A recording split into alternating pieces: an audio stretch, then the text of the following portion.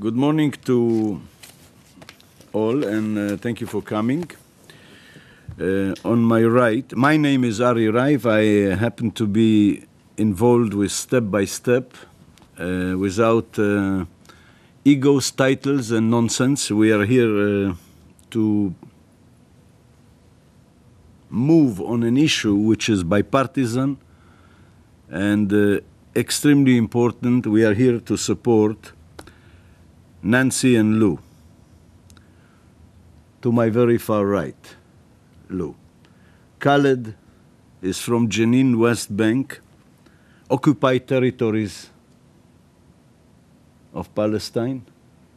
And next to me is Bess, which is the best thing that ever happened to me because she happens to be not only an executive and a respected executive, she is with the Marriott Hotels of Canada. She's a GM and she has been very, very instrumental when it comes to assist Lou and Nancy in the most difficult times of their life. I want to thank the founder and the man that uh, created Step by Step, George Marcello, who is in front of me, and he will be soon introducing you to the foundation called Step by Step. Before I say anything, I just want to make sure that uh, we all understand that since there is not a very large number of media present, I have to tell you that uh, Mark Twain said once that if you don't read newspapers, you are ignorant. If you read newspapers, you are misinformed. So I want to make sure that nobody is misinformed and that everybody understands that we are on the same page. This is an issue that the media neglected to focus on. We have some support from the Toronto Star, and I will name them so that it will be clear. The media is much more interested in some um, violence, uh, rapes, and other uh, items that sell newspapers rather than dealing with a severe humanitarian issue of organ donations.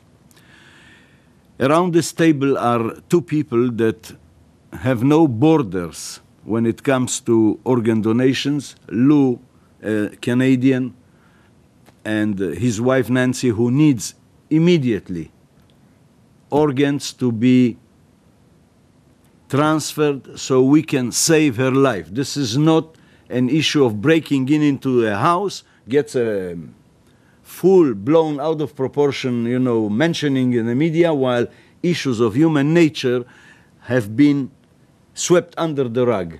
This has to stop. To your right, to my right, Khaled from Jenin, West Bank, is a phenomenal story of human spirit in action.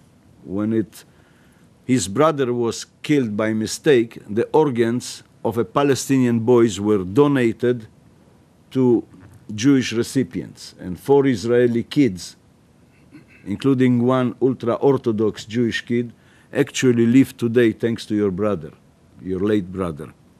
You coming to Canada is a matter of organs without borders, because this issue is too delicate to leave it to, with all the respect due to politicians and to the media.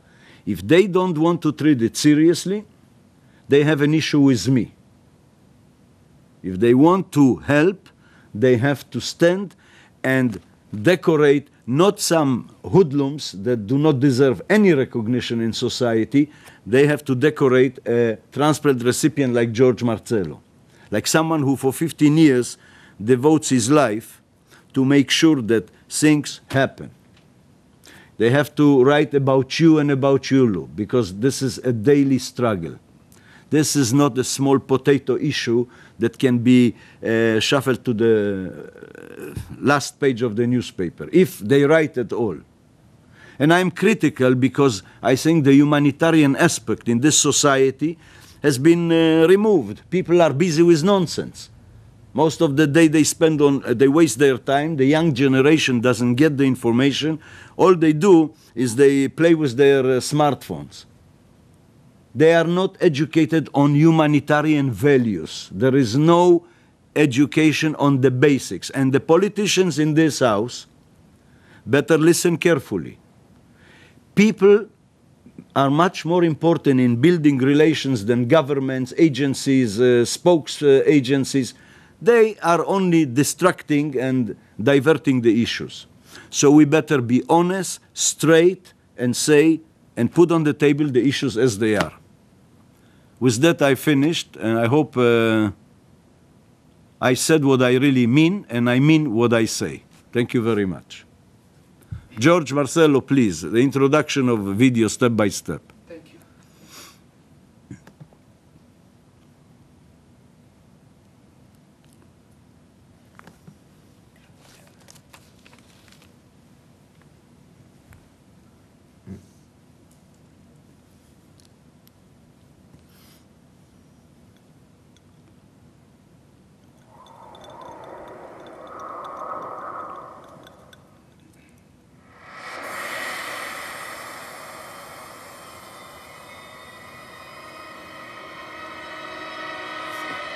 A Palestinian boy dies in Rambam Hospital, and decide to donate his organs. Six Israelis will receive the heart, kidneys, lungs, and liver of little Ahmed.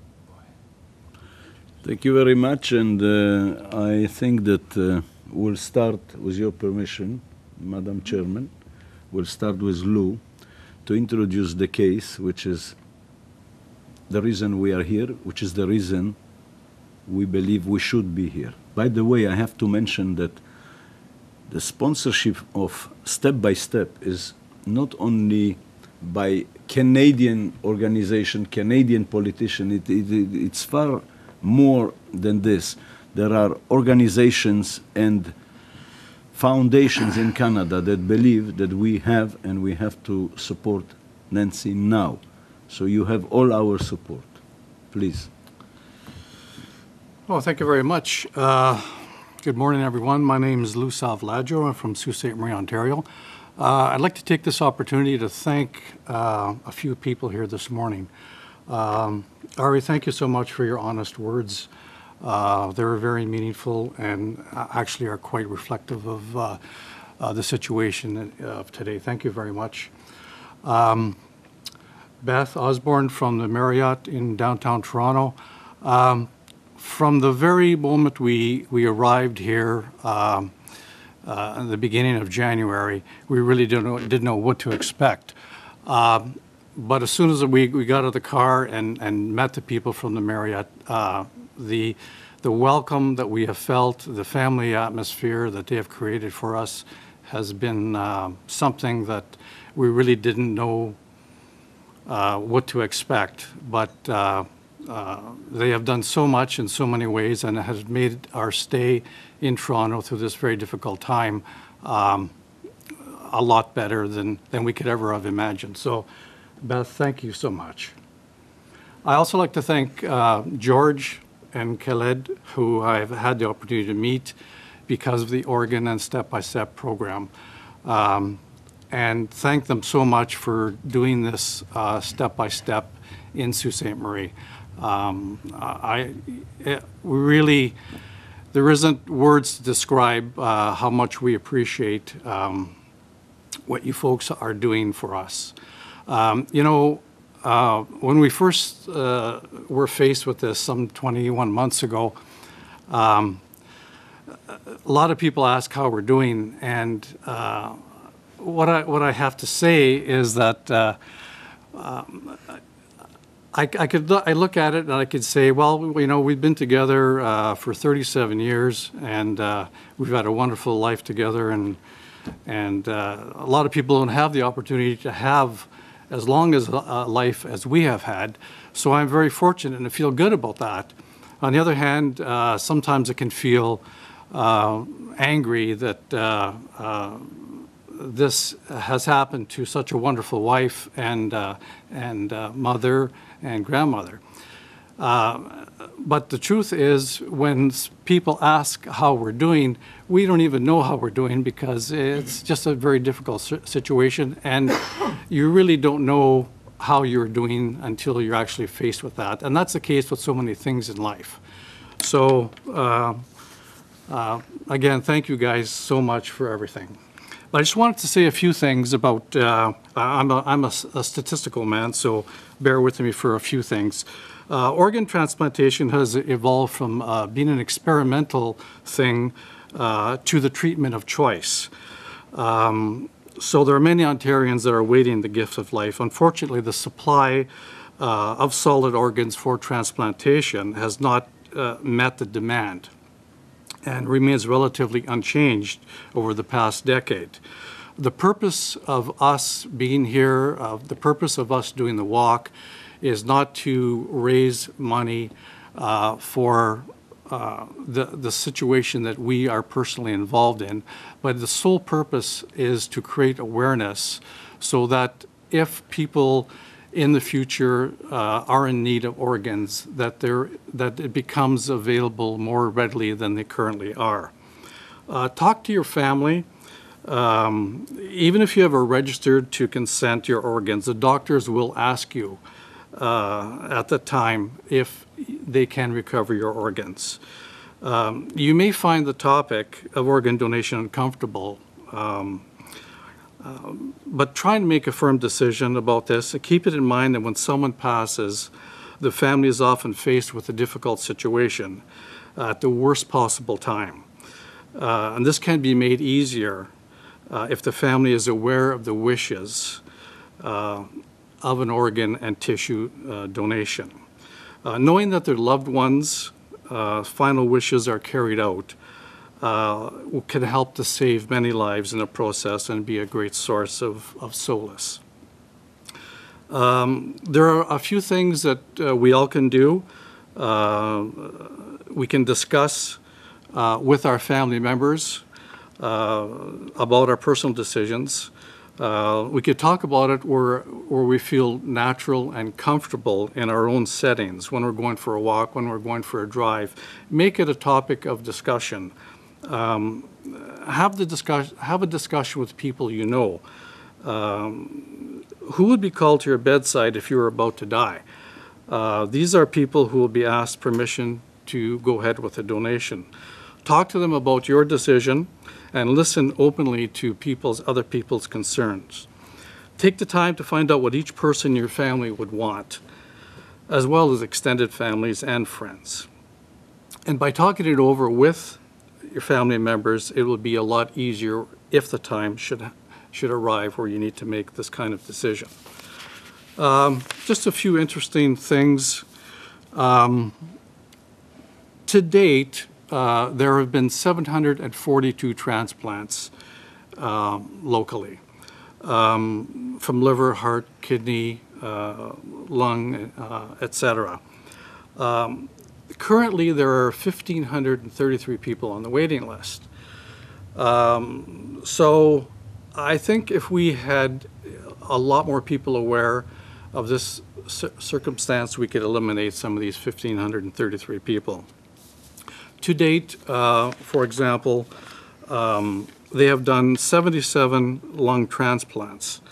Um, In 2002, they did 56 lung transplants and have pro- progressed not automatically up to the 102 that they did last year, because some years they did 80, some years they did 99, other years they were back to 80 again. So they don't do transplants just for the sake of doing them. They have to be an exact match. There are certain criteria that, uh, that need to be met. Uh, One is organ size, of course, there's blood type, there's antibodies. And I understand that the decision for transplantation is a very complex one. And when the organs are harvested, the Trillium Foundation would make the organs available to the surgeons who would ultimately decide who is the best candidate for transplants. Um, I just wanted to say to the people in Sault Ste. Marie, um, Ontario, or the Be a Donor, Be a Donor program has had um, a goal of 300,000 um, people that wanted, uh, that wanted, that they wanted to sign up for organ transplantation. Uh, Since uh, April 1st till uh, June 30th, they have done 66,000 or 22% uh, of their goal. So to the people of Sault Ste. Marie, um, there are 70,137 people that carry a health card in Sault Ste. Marie currently. Out of those, 27,448 have signed their donor, uh, or have, uh, are registered donors, which represents uh, 39%. Great numbers. Uh, We are 24th out of 179 uh, in our community as far as uh, transplant, or as far as uh, donation. And the purpose of us being here today is to increase that number as much as possible. Uh, There are three different ways to donate. Um, You could download the Gift of Life consent form. Um, You could go to any person uh, at any Service Ontario center. Uh, Of course, you can go to Be a Donor uh, CA and, uh, and fill out the uh, consent form there. Um, Thank you very much for everyone here for the opportunity, and uh, George and Ari and Beth and, and uh, and Kayla, thank you so much, and uh, I hope things work out really good uh, tomorrow for Nancy and Sault Ste. Marie. Thank you very much. Thank you, Lou. Beth, the floor is yours. Thank you. My name is Beth Osborne, and I am the general manager of the Residence Inn by Marriott on Wellington Street in Toronto. I'm here today to share a somewhat unique perspective and personal perspective on the importance of our goal today.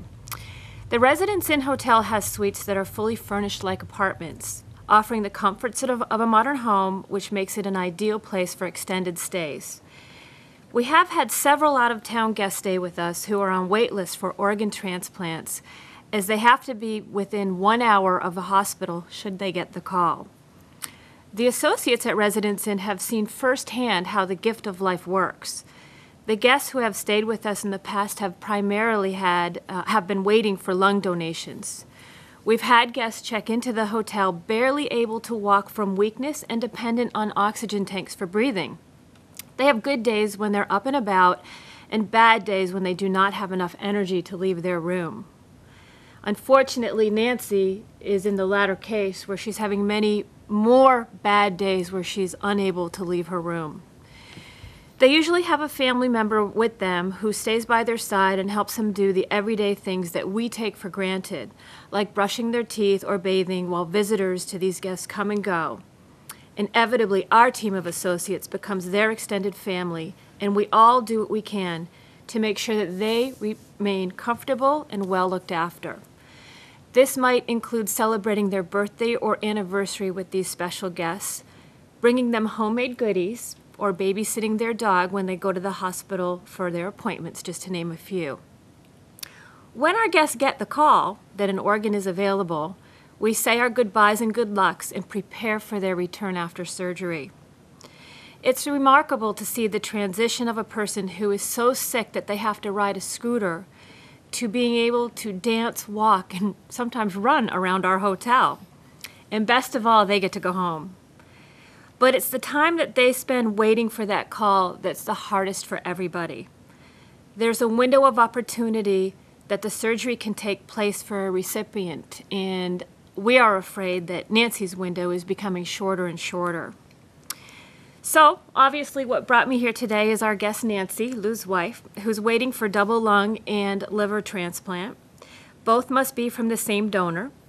Lou and Nancy have been staying with us since January, and when I go to work in the morning and look into their eyes and see the anguish that one more night has passed without the call, without a donation, it truly fills me with despair. I know that one more day will pass that will bring Nancy closer to the end of that window of opportunity. That she will have to endure one more day of trying to catch her breath, and one more day that she and her husband will be away from their home, from their children, and their grandchildren, and away from their friends and life as they knew it, waiting in anticipation for that gift of life. So the question that keeps popping in my head are where are all the donors and why is it taking so long? I did a survey of my own associates at the hotel, and out of 100 of them, only about 15 actually have driver's licenses. And many people have old health mm. cards that never expire. So, how would they know that there's a need for organ donors? How would they know how to register? How do people know about the lives that are lost waiting for transplants?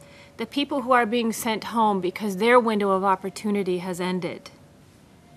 How is the message getting out there? Hopefully, we're here to do that. I was here a month ago with a group of people pleading for people to register uh, their donor cards. Available data does not show how much change there has been in registered donors since then. And as well as I said, Nancy's health continues to deteriorate to the point where she can't even get out of bed, and I fear that soon she'll be moved to a hospital. Tomorrow we have a scheduled march with Caleb in Sault Ste. Marie, and all of Lou's Nan- Lou and Nancy's family and friends and colleagues and co-workers will be joining uh, to get the word out in Sault Ste. Marie about the awareness and the importance of registering for organ donation.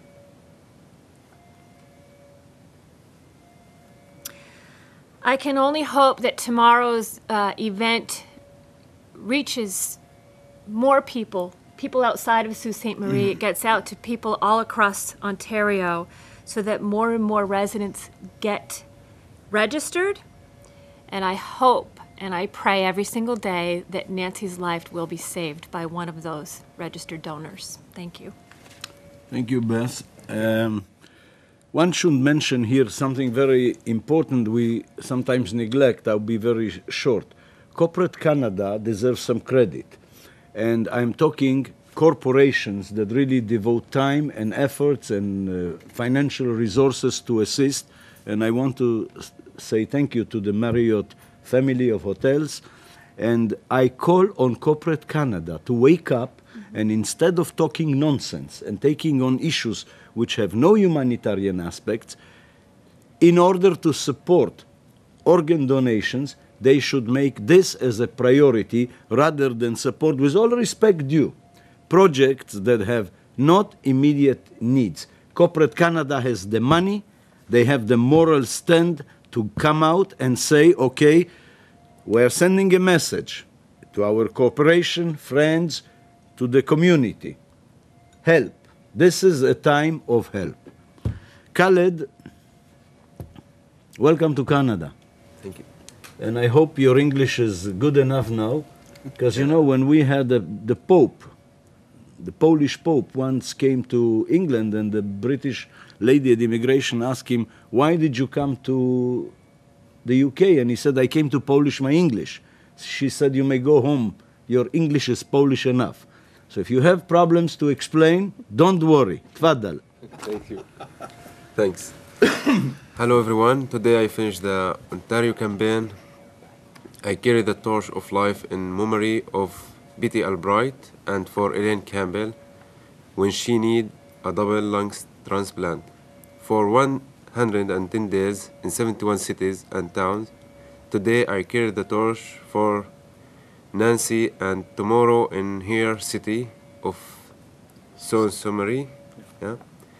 She need a double lungs life transplant and we pray that he will receive this torch without her, her thanks.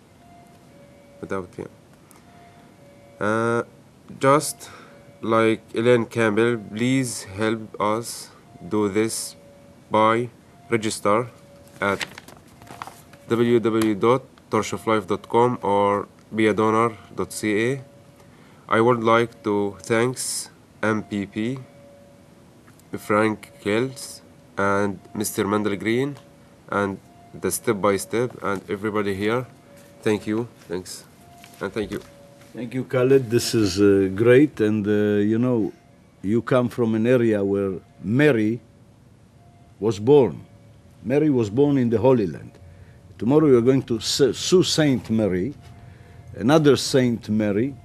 I hope this will work. But if it's the power of gods or if it's power of people, we have to find a solution for Nancy. And any call, any progress that can be made on this will save life.